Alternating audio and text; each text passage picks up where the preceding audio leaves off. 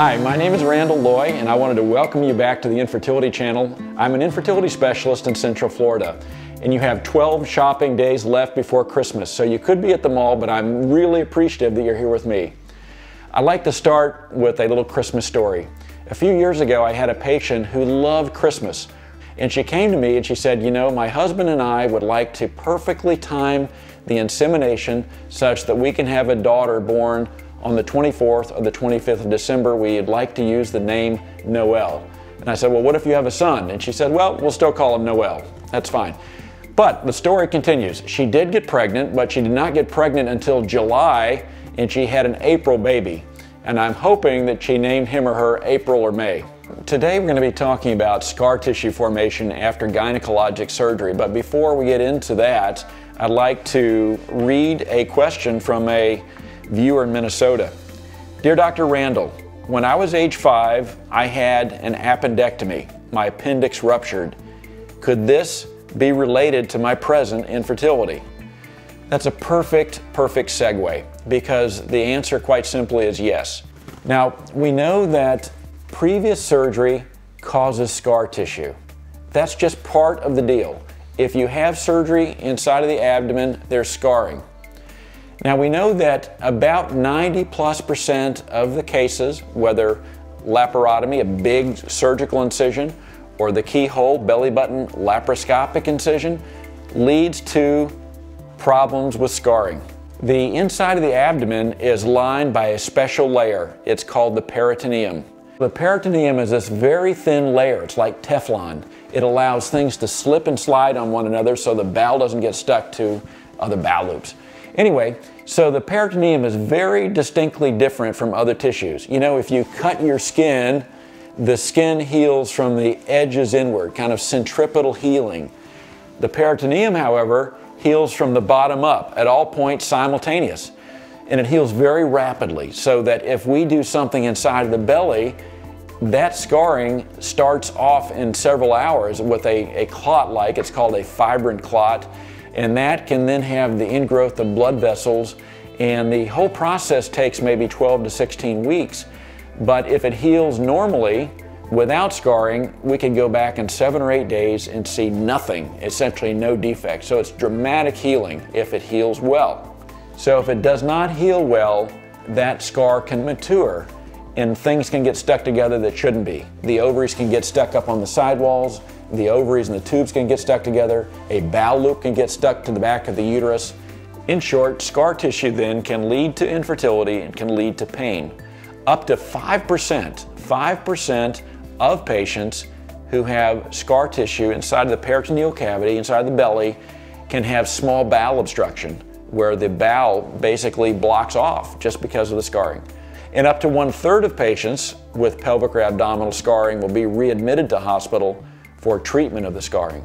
So in reproductive medicine, anytime we perform laparoscopy, the belly button surgery, or larger incisions, we try to prevent scarring. We use adjuncts. And there have been efforts used to put some saline solution inside the belly to keep things floating on one another. That doesn't seem to work. No matter how much is used, even a couple of liters doesn't seem to help. There is a new solution though called icodextrin. It's a polymer, it's a bunch of glucose molecules stuck together, sugar molecules, and that seems to absorb more slowly, allowing for so-called hydroflotation, allows the bowel and the uterus and the tubes and the ovaries to kind of float around for a few days, typically absorbed about five days later. So that prevents scarring from happening. Another one that's tried and true and has been around for about 30 years at this point is called Interceed. Now, Interceed is a Johnson & Johnson product and it is a specially formulated cellulose.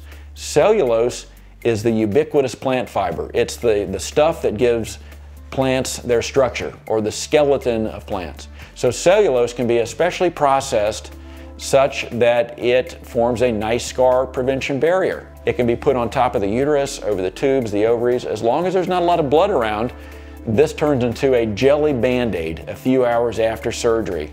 And then that jelly band-aid absorbs completely in about two weeks, preventing scarring. In some of the original studies, it decreased new and recurrent scar formation in as much as 70 to 80%. The final type of scar prevention barrier we use is called Seprafilm. It is very fragile and it is used in open cases especially, but it can be used where there is a little bit of oozing. For example, if there's been a little bit of bleeding around, we know that the Interceed will not work, but Seprafilm does work. It also forms a kind of Teflon Band-Aid, a gel-like Band-Aid over the surfaces. Uh, so one that's available in Europe but not in the United States is called spray gel. You can spray this stuff on the surfaces where you just operated and it forms a jelly band-aid once again. And it's called PEG or polyethylene glycol, a very slippery substance.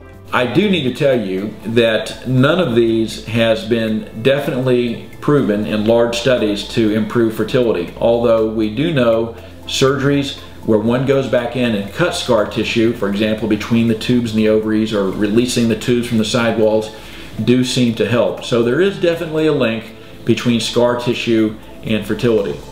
I need to tell you a story about a woman who was referred to me for surgery.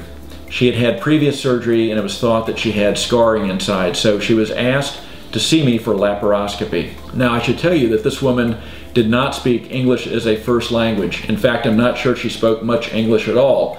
I was reviewing her intake history and the place where one could put male or female by sex, she put yes. And when we asked her blood type, she put red. When the form asked how many sexual partners she had had in the previous two years, she put one per week. And finally, when asked about the number of times she had had intercourse per week, she put 52. So that is one very, very busy lady. I hope she uh, has time to shop in this Christmas season. I hope you do as well. And I want to wish you a joyous holiday season. Happy Hanukkah. Merry Christmas. See you back next week. Be sure to share this video with your friends and subscribe to catch all new episodes each week here on the Infertility Channel. Plus, follow us on Facebook and Twitter. I love hearing from you. Comment below or tell me what you want to see on future episodes by sending me an email to comments at infertilitychannel.org. Until next week.